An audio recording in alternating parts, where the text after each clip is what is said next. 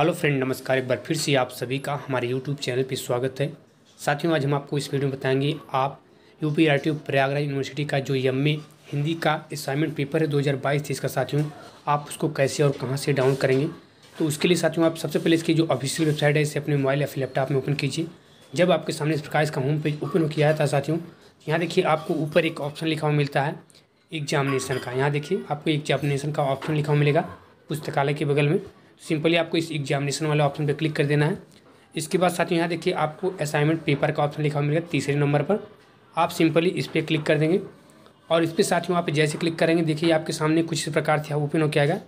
यहाँ पे आपको 2022-23 से लेकर 2016-17 तक असाइनमेंट पेपर आपको यहाँ पे मिलेगा।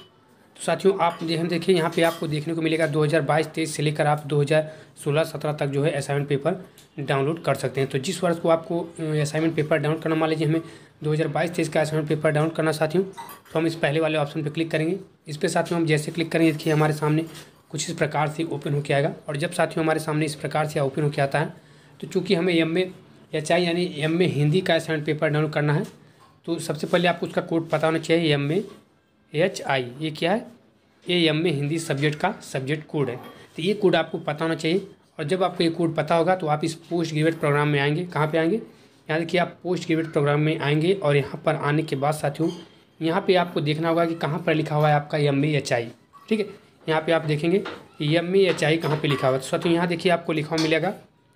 यहाँ देखिए एम एच आई आपको लिखा हुआ मिला ठीक है? तो आप सिंपली क्या करेंगे? इस एम एच आई वाले ऑप्शन पर क्लिक कर देंगे। क्योंकि साथियों, यहाँ देखिए फ़र्स्ट सेमेस्टर के यहाँ पे एम एच आई का असाइनमेंट पेपर आपको दिया है, दो हज़ार बाईस तेईस का एम ए का। तो आप सिंपली इस पर क्लिक कर देंगे।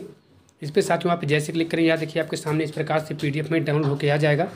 और जब साथियों आपके सामने इस प्रकार से यहाँ ओपन होकर आता है तो यहाँ देखिए सबसे पहले ऊपर देखिए आपको लिखा हुआ मिलेगा। सेमेस्टर पद्धति यानी प्रथम सेमेस्टर आपका यहाँ पे मिलेगा। यहाँ पे देखिए आपको 2022-23 का ऑप्शन लिखा मिलेगा और यहाँ पे देखिए आपको विषय यानी आपका सब्जेक्ट हिंदी लिखा हुआ मिलेगा। और यहाँ पे आपको देखिए जो आपका सब्जेक्ट कोड है एम एच आई आपको यहाँ पे लिखा हुआ मिलेगा, ठीक है? उसके बाद आप नीचे आ जाएँगे। नीचे आएँगे साथियों तो जो साथियों आपके असाइनमेंट पेपर में जो आपके क्वेश्चन आते हैं, सबसे पहले आपके लघुत्तरी प्रश्न आते हैं। इनके उत्तर आपको देखिए, आठ सौ से एक हज़ार शब्दों में लिखने होते हैं। यानी आठ सौ से एक हज़ार शब्दों में आप जो इसका आंसर लिखेंगे, वो चाहे आपका दो पेज में हो, चाहे तीन पेज में हो, चाहे जितने पेज में आपका असाइनमेंट पेपर हो, लेकिन आपको आठ सौ से एक एक हज़ार शब्दों में ही लिखना है। इससे कम आपको, कम से कम आपको आठ सौ से कम शब्दों में इसका असाइनमेंट पेपर का जो है आंसर नहीं लिखना है, ठीक है? जो यहाँ पे दीर्घ उत्तरी क्वेश्चन आपके दिए गए हैं। जैसे यहाँ पे देखिए, पहला आपका दिया कि विद्यापति भक्त कवि हैं या सिंगारी कवि हैं, तर्क सहित उत्तर दीजिए। तो इसका जो उत्तर आपको लिखना साथियों वह आठ सौ से एक हज़ार शब्दों में लिखना है। इससे कम शब्दों में आपको इसका आंसर नहीं देना है, क्योंकि इससे कम शब्दों में आप लिखेंगे तो आपका यह दीर्घ उत्तरी जो क्वेश्चन है, यह कंप्लीट नहीं माना जाएगा। ठीक है?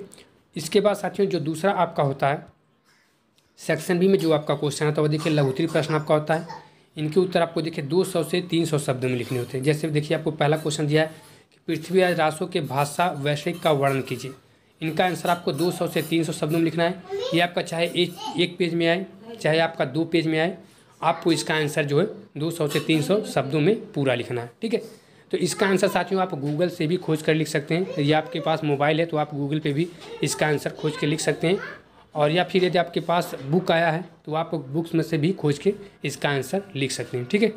तो हमें उम्मीद है कि आपको हमारी छोटी सी इन्फॉर्मेशन छोटी सी जानकारी ज़रूर पसंद आएगी और यदि आपको हमारी छोटी सी जानकारी अच्छी लगी पसंद है साथियों तो आप हमारे वीडियो को ज़्यादा से ज़्यादा लाइक और शेयर ज़रूर कीजिए।